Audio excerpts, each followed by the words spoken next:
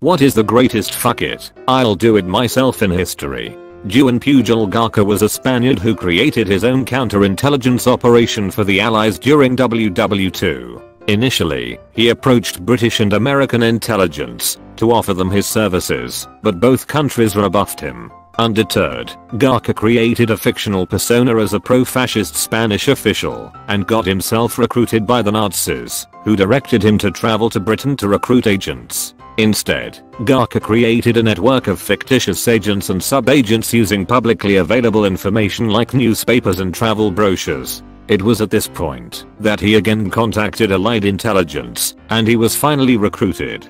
García continued his work throughout the war, and for the same operation, he received both a knighthood from the British and the Iron Cross from Nazi Germany. The Nazis never realized that he was a double agent. Yes. In the lead up to Overlord he confirmed reports that the Allied attack would come from Dover and wouldn't attack Normandy. Then, at the last moment he confirmed that the Allies in fact would attack Normandy. But it was too late for the Nazis to act on it. So afterwards the Nazis still trusted him as they would point to him and say he was the only one who predicted the Normandy invasion.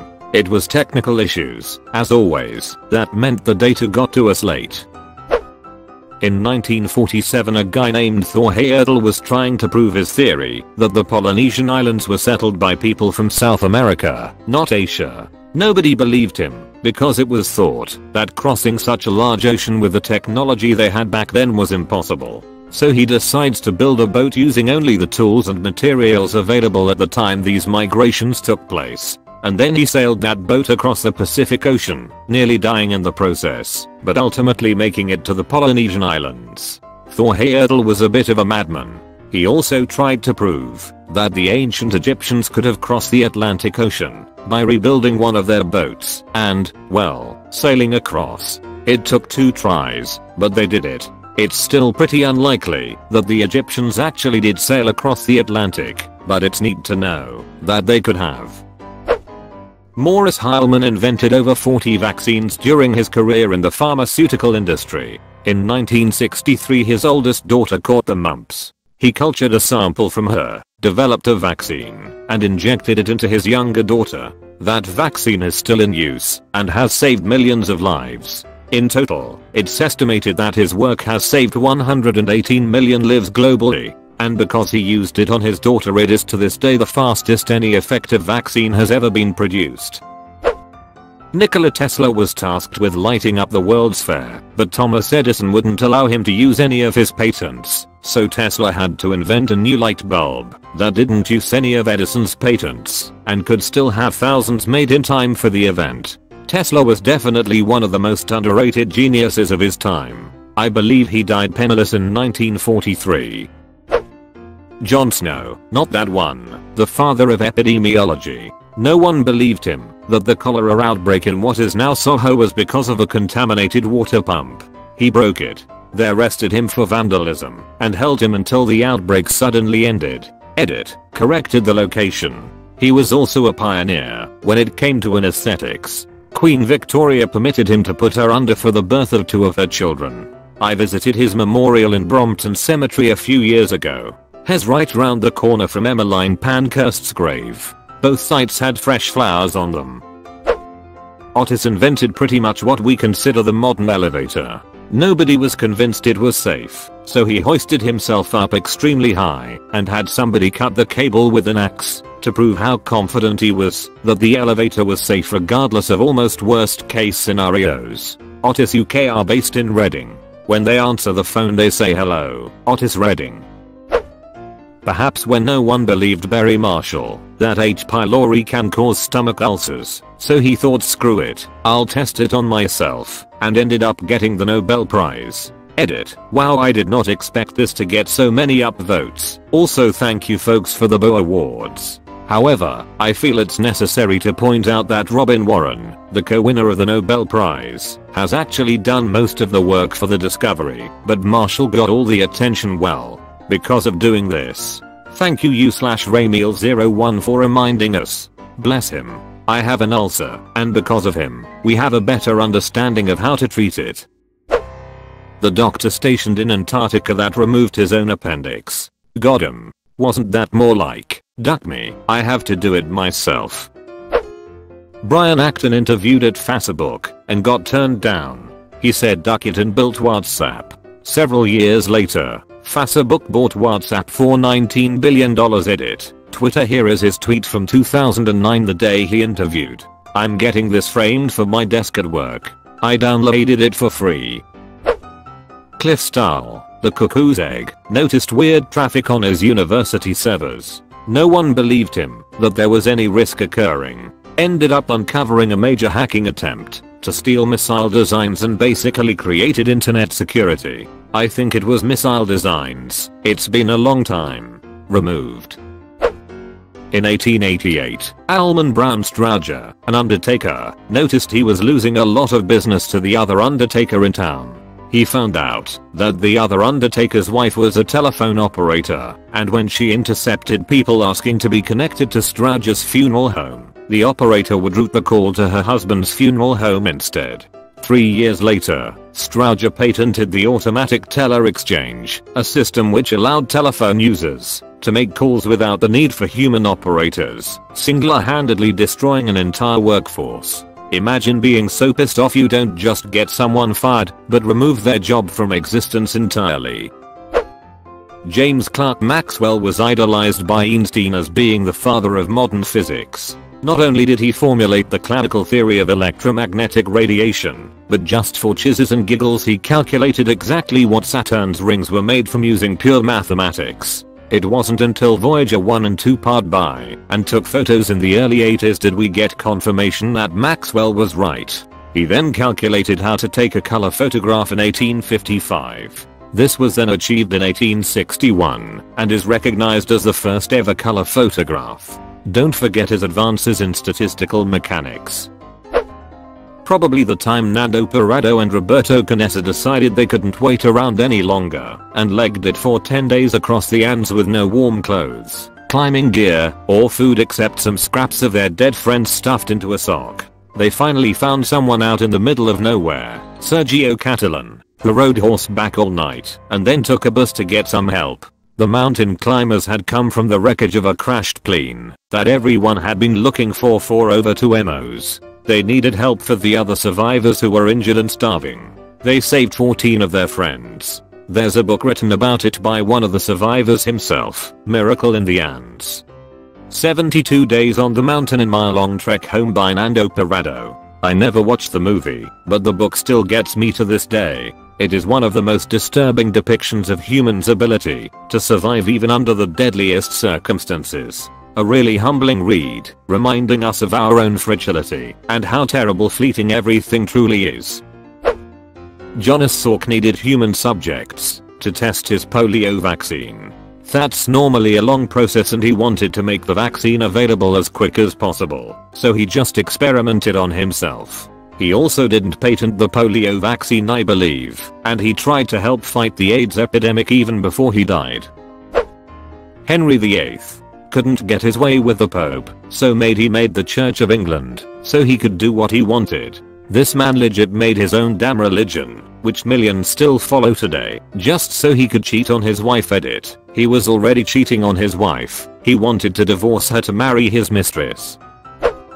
It's gotta be Aimo Koivunen he was a Finnish soldier in the Second World War, when the Finns were trying to reclaim land from the Soviets. He got separated from his unit mid-war in the middle of nowhere he was the one tasked to carry the drugs they held in case of injury or tiredness, one of which was Pervitin, which was literal meth in a tablet form. Instead of just taking one or two, he downed the whole bottle and went on a weeks long methed up rampage. He got hit by a landmine, evaded Soviet soldiers, caught a bird, and ate it raw, all while on skis. He finally made it back to Finnish lines where on arrival, he weighed only 90 pounds or so and had a heart rate of 200 beats per minute. He ended up living for another 45 years. Edit. Here's an article if you want to read more and see a pic of his unyielding stare. I ducking love it whenever this story gets mentioned.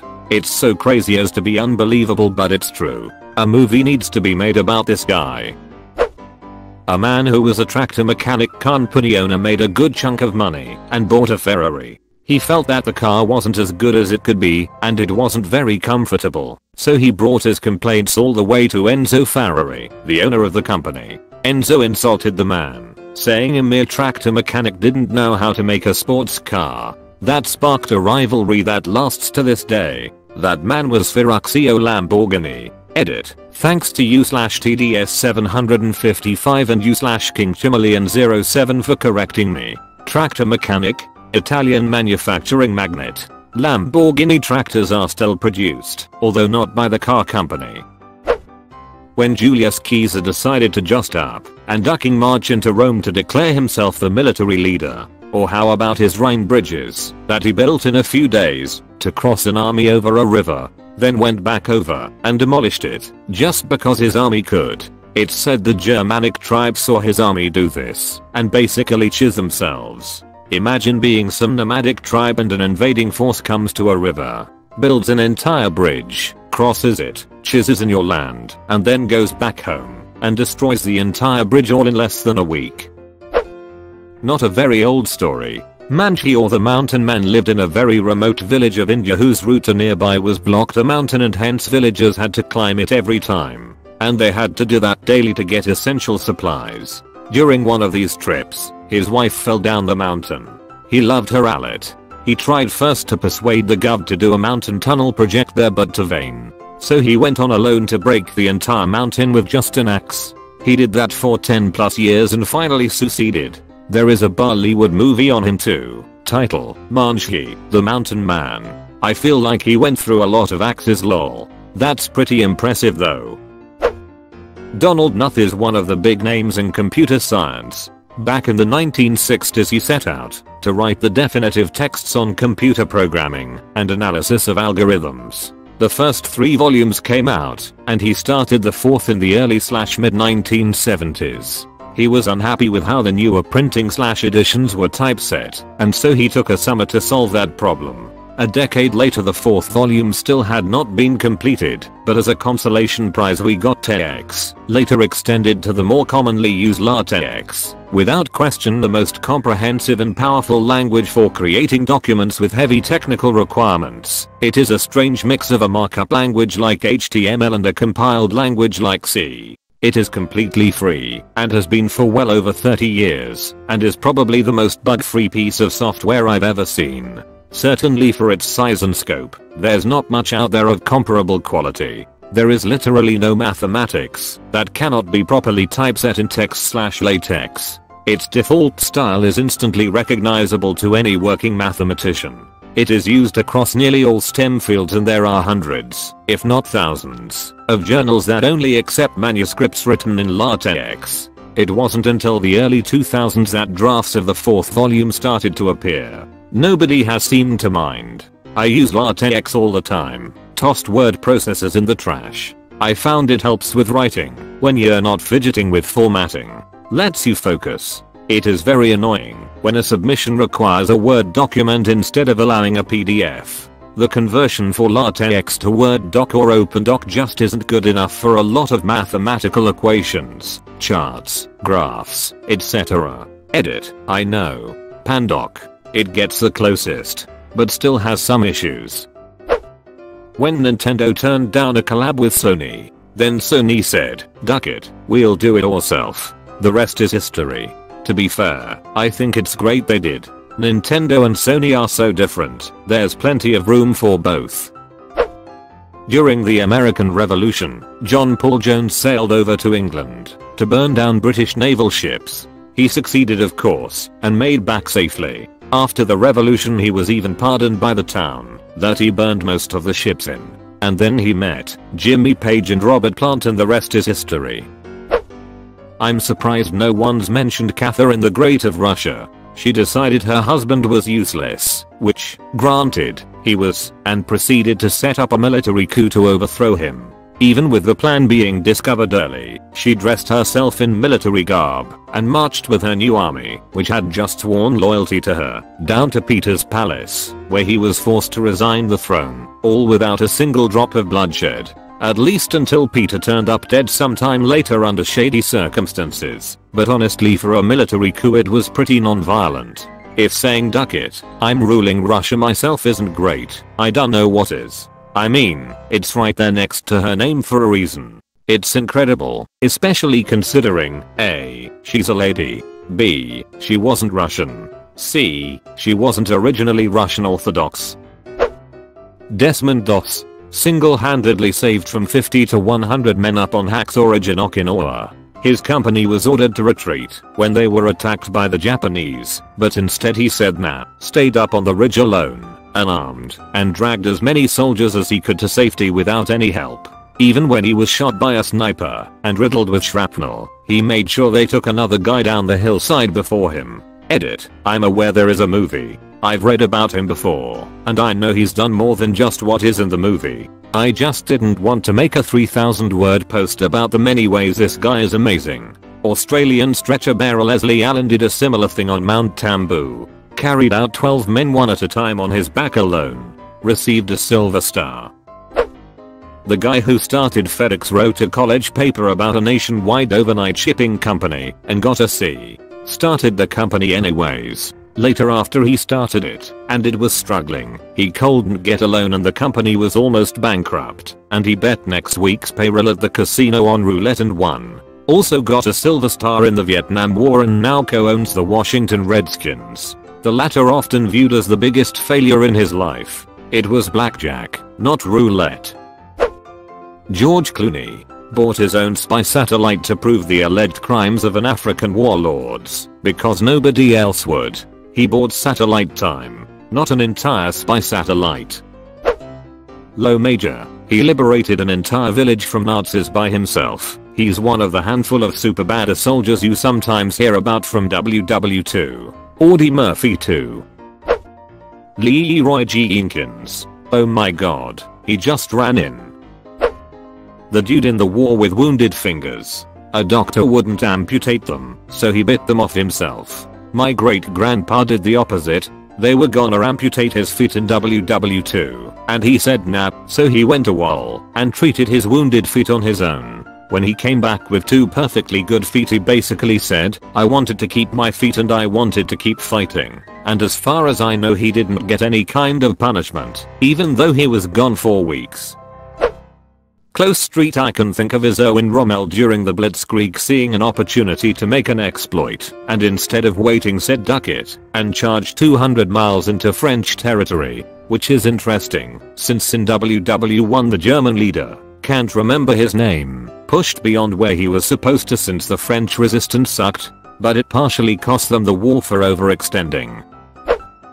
Clara Lemlich taking the stage at a union meeting in 1909 to declare a general strike after the older male union leaders told the working girls that there really wasn't a point in striking and it would be too hard. Just be patient and deal with it. So 20 year old Clara interrupts them, climbs up on the stage and shouts at the crowd that she's tired of just talk, time to strike. And everyone went for it. Instant agreement of the workers. Wow, this got some attention. So editing to add that I dug up my old research, a translation of what she said, originally in Yiddish, was I have listened to all the speeches, and I have no further patience for talk. I too, have worked and suffered, and I'm tired of talk. I move that we go on general strike. Now, which union?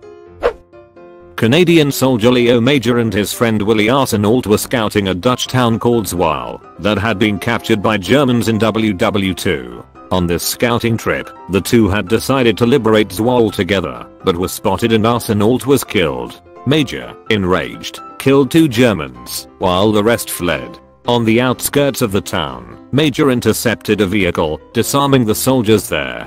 He told a French-speaking soldier that all the Canadian artillery would be firing on the town in the morning, and decidedly let the Nazi free to spread the rumor, even returning his weapon as a total alpha move. That night, Major decided to single-handedly liberate the town. Arming himself with many weapons, he made explosions and noise, making it sound like the entire Canadian army was there. Several times that night, Major went back and forth from Zwolle to the Canadian base taking 8 to 10 German prisoners each time. At one point, Major located the Gestapo, high-ranking Nazis, headquarters and raided it himself. He killed several SS officers and the rest fled. By morning, Major discovered that the Germans who had taken Zwolle had entirely retreated. I should also mention that Major was a sniper who had only one eye from a phosphorus grenade explosion years prior and remained in the military because he insisted he only needed one eye to aim his weapon and that to him, he looked like a pirate. The Dutch town of Zwolle was liberated by a one-eyed sniper. He has several other legendary acts, but this to me was his best. Edit. Some details, including the return of a Nazi's weapon. This is by turns, bad a hilarious brilliant pirate. Seward's decision to buy Alaska from Russia. Best folly ever. The giant Norse axeman who held the choker point at the Battle of Stamford Bridge. By the time the bulk of the English army had arrived, the Vikings on the west side were either slain or fleeing across the bridge. The English advance was then delayed by the need to pass through the choke point presented by the bridge itself. The Anglo-Saxon Chronicle has it that a giant Norse axeman, possibly armed with a Dane axe, blocked the narrow crossing and single-handedly held up the entire English army. The story is that this axeman cut down up to 40 Englishmen and was defeated only when an English soldier floated under the bridge in a half barrel and thrust his spear through the planks in the bridge, mortally wounding the axeman. 15 Wikipedia. The whole story behind this period of English history is really interesting, actually. Basically one king, Edward the Confessor, died and there was no obvious successor.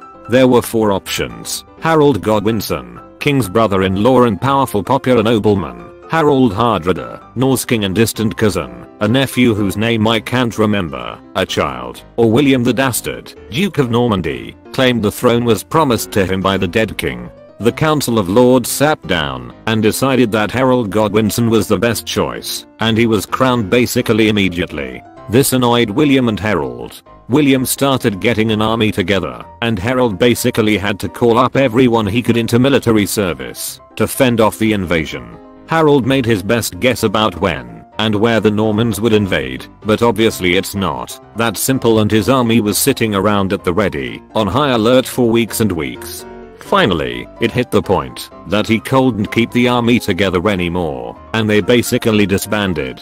The Vikings, led by Harold Hardrada, took this moment to invade England in the north. They sailed in, marched for a bit, and then set up camp. Harold Godwinson scrambled his army back together and marched, marched. Cavalry was not a thing in England at this time. 185 miles in 4 days to get to Stamford Bridge, where they discovered the Vikings chilling because there was no way that the English could arrive from the south for at least a week or two. Then the Battle of Stamford Bridge happened. The English won in a resounding victory, and Harold received news that William the Dastard had landed at Hastings. So he turned his army around and marched them back to the south. Three weeks later, Harold Godwinson faced William of Normandy at a little hill called Battle. William the Dastard became William the Conqueror, and the rest is history. Metallica fired Dave Mustaine, 1983, because he was sort of a control freak and wanted to take the band in a more prog slash jazz metal direction. He was also abusing drugs and was known for violent behavior at the time. He went off and created his own band Megadeth, and over the next 30 plus years he sold millions of albums and toured the whole world writing and controlling pretty much everything he's ever wanted. It seems they've all now patched things up Jude is an absolute genius beast of a guitarist slash songwriter. Also, when guitarist Hillel Slovak died, 1988, John Frusciante was a 19 years old kid and a huge fan of the Red Hot Chili Peppers. He was heartbroken and didn't want to see the end of his favorite band. So he went and auditioned to play lead guitar. He got the gig, helped take them to the top of the charts. The rest is history. Today he's considered one of the greatest rock guitarists out there. I do love Megadeth, but I wouldn't want to be in a band with Dave Mustaine. It's a weird win-win-win situation. Metallica didn't have to deal with Dave. Dave got to go and be Dave, and we got to enjoy both Metallica and Megadeth. Alexander the Great solving the Gordian, knot by cutting it with his sword. Alexander loved to do things like this. During the Malian campaign near the end of his conquests, his army was besieging a citadel Alexander thought the battle was taking too long, so he took a ladder, climbed up the citadel wall himself, and suicidally jumped over the wall into the heart of the enemy garrison. He sustained awful injuries during this battle, but perhaps in part due to his recklessness, his army was able to complete the siege of the citadel. We had a client that had his books and processes so messed up, we were doing almost a thousand journal entries a month to make corrections. He had 5 full-time people in accounting, when he could have gotten away with one accountant and one cheap part-time billing person. He got tired of our bills and hearing us make recommendations, so he finally said I'll do it myself. All five of his people quit over the next few months, and last I heard, they weren't even able to bill customers. I recently just trained one of our clients bookkeepers how to record some regular transactions, and how to make the adjusting entries we send back to them at year's end. 10 years, and hundreds upon hundreds of clients, and I finally found one who would listen, and was appreciative of the time we took to show her what to do. This ultimately lowered our billing with the client, but her boss, our client, is a client for life now, because of the value we provided. The referrals are paying more than enough dividends for the lost revenue on the initial client. Hannibal of Carthage deciding to take his army over the Alps includes war elephants, defeated every Roman he crossed, and definitely could have taken Rome itself if he'd received reinforcement and siege artillery. But the Carthaginian senators were lining their pockets with Roman bribes in return for voting against sending reinforcement. Spoiler alert, it did not end well. Wasn't there that Russian? Of course he was Russian. Doctor that did stomach surgery on himself with only a bottle of vodka for anesthetic. He was stuck in Antarctica and was the only doctor available. He got a group of people to hold mirrors and hand him stuff and had another group for if anyone passed out. He then took out his own appendix. Martine Rothblatt, founder of SiriusXM and unbelievable polymath, was told her daughter Genesis had 3 months to live. She had been diagnosed with a type of pulmonary arterial hypertension which was fatal. The disease causes too much pressure in the blood vessels leading from the heart to the lungs, causing them to narrow and not carry enough oxygen. So Rothblatt quit all of her other work and went to the library to save her daughter. Even though she had zero background in the field, she figured out a cure and in the process, founded United Therapeutics which is a billion dollar biotechnology company. Rothblatt's life story is amazing. What was the cure? Let's not forget that Isaac Newton ran out of math to work with and was like I guess I'll just invent calculus then. He was self-quarantined during the plague. The story of calculus, if I have seen further it is by standing on the shoulders of giants. When Pedro Cerrano realized Jobu wasn't going to help him hit a damn curveball, even has the quote to go with it when he says I say duck you Jobu, I do it myself. Lamborghini building cars because Duck Ferrari, the owner of Lamborghini ran a successful tractor company. When he asked Enzo Ferrari to make some customizations to a vehicle he was about to purchase, Enzo replied with something along the lines of, you should stick to what you know, tractor boy. Thus, the Lamborghini car company was started and allows customers to customize almost any feature of their vehicle. Lioness of Brittany Wikipedia my revenge is one hell of a name for a pirate ship that gets a point across. I've posted this guy before. Total bad A. Scroll down and read the more citation. While you read that, remember that this happened after he stepped on a landmine a few years earlier and taught himself how to walk again. Wikipedia. When Princess Vespa's hair got singed. Not bad not bad for Rambo. The Soviet woman that lost her husband to the Nazis sold everything and to pay for a tank with the request that she gets to drive it to fight Nazis. Go read up about Mariya Oktyabrskaya on Wikipedia. Mirai Oktoblaya Tankaya. Stanislav Petrov making the decision not to push the button to launch nuclear missiles, as would have been his direct orders when the Russian early warning system wrongly indicated the launch of American missiles in 1983. One man saved the entire world from nuclear destruction. So this is undeniably the greatest of these moments in all human history. There should be a statue of him in every major city around the world. Edit. Spelling edit. More spelling. Herbert Hoover, biographical book review Its late star codex His whole life is a cyclical story of, here's a problem. Nobody can solve it. Give me total control. He then takes total control, offends literally everyone involved, and fixes everything. You probably remember Herbert Hoover as the guy who bungled the Great Depression. Maybe you shouldn't. Maybe you should remember him as a bold explorer looking for silver in the jungles of Burma, or as the heroic defender of Tientsin during the Boxer Rebellion, or as a dashing pirate philanthropist, gallivanting around the world, saving millions of lives wherever he went, or as the temporary dictator of Europe, or as a geologist, or a bank tycoon, or author of the premier 1900s textbook on metallurgy. How did a backwards orphan son of a blacksmith, dropped in the middle of a forgotten spot in the Midwest, grow up to be a captain of industry and a US president? How did he become such a towering figure in the history of philanthropy that biographer Kenneth Whyte claims the number of lives Hoover saved through his various humanitarian campaigns might exceed 100 million, a record of benevolence unlike anything in human history.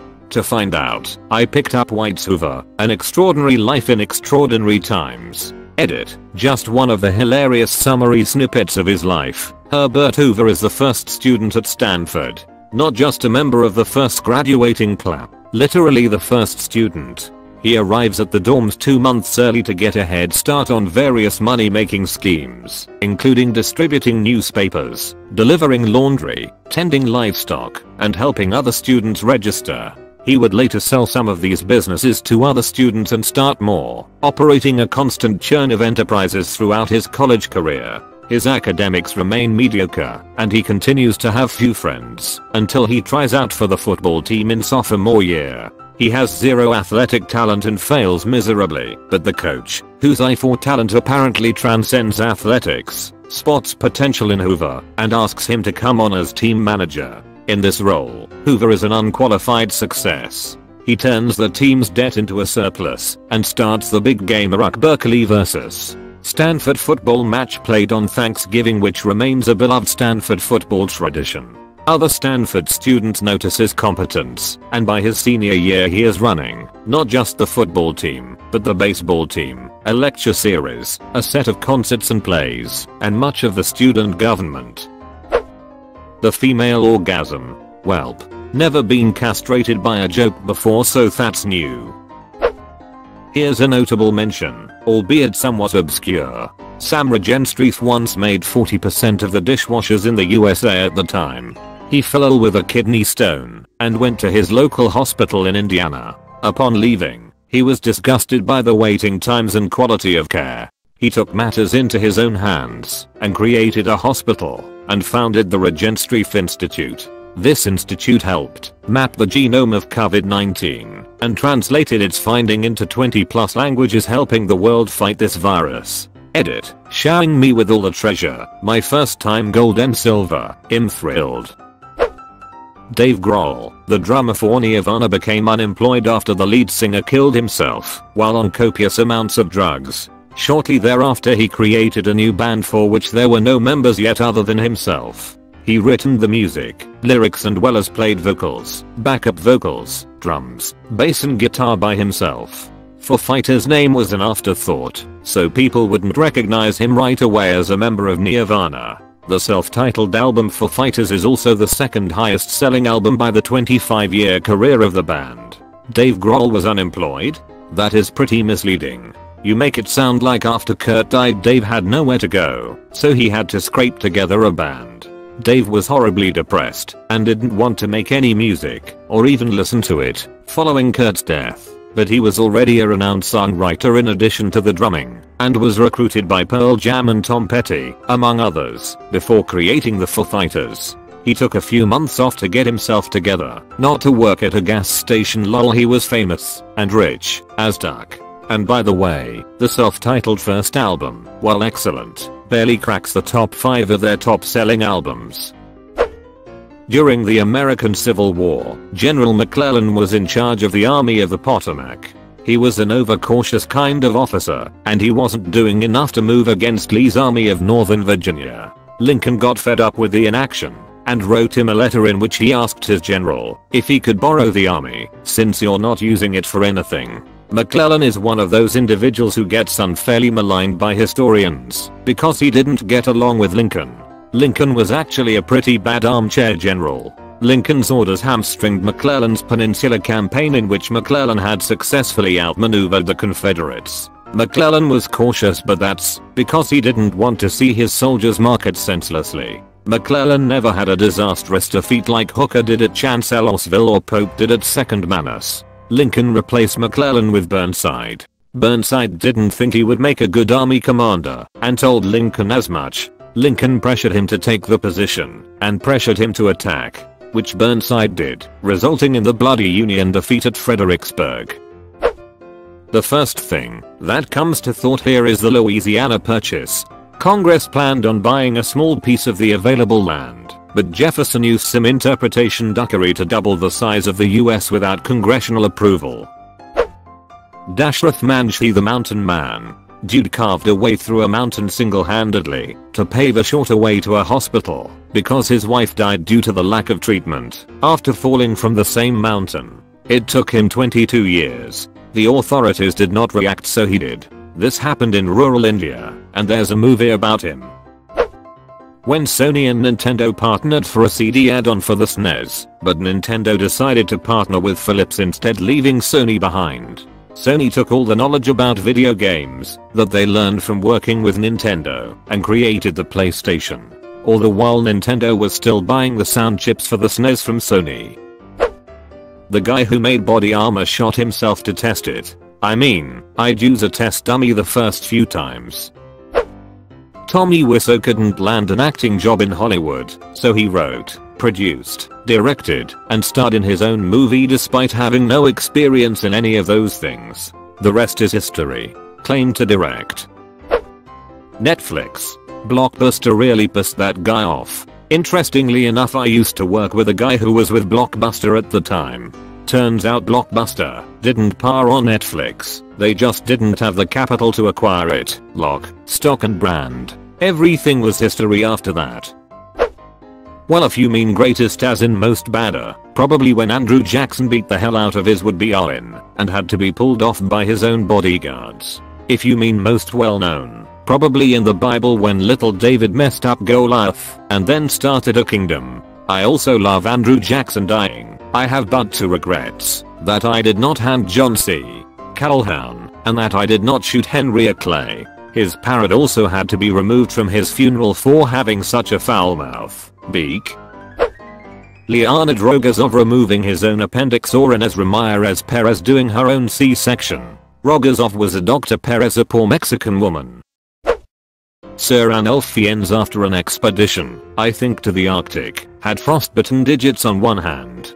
After becoming irritated and uncomfortable waiting for the docs to sort out treatment, he went to his garden shed and amputated them himself. Linus Torvalds was thrashing SVN.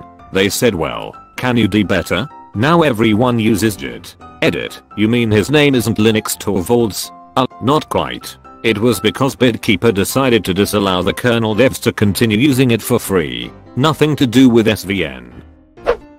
I won't say it's the greatest in history, but Meg Trainor pitched all about that beta countless songwriters who decided not to record it, notably Adele Beyonce. So she decided to release it herself, shooting to hash 1 and launching her artist career. Imagine Adele recording all about that bay. I'm so so so glad she didn't. Thomas Jefferson thought the US should expand, and Napoleon needed cash. Jefferson was an advocate for very limited federal government though, and wanted to find some way other than the federal government buying it. Finally, with no other choice, he said duck it and bought it, losing all credibility among his followers WRT having a small federal government. That could be completely incorrect, something somebody made up and I believed. The Lewis and Clark expedition was similar. He had them set out for one reason, and then covered the trip for another instead. Killing Hitler? For the last track of their album Innuendo, Queen was arguing about if Freddie Mercury was healthy enough to sing. May states I said Fred, I don't know if this is going to be possible to sing. And he went, I'll ducking do it. Darling he put his vodka down and recorded the entire song in one take. Reading this I was like this has to be the show must go on, and happily it was. Amazing track holy hell. That guy who got his arm jammed while rock climbing, so he amputated it with a toothpick and some pocket lint. might be a different guy, but if you're talking about the guy who wrote the book Between a Rock and a Hard Place he amputated it with a dull pocket knife.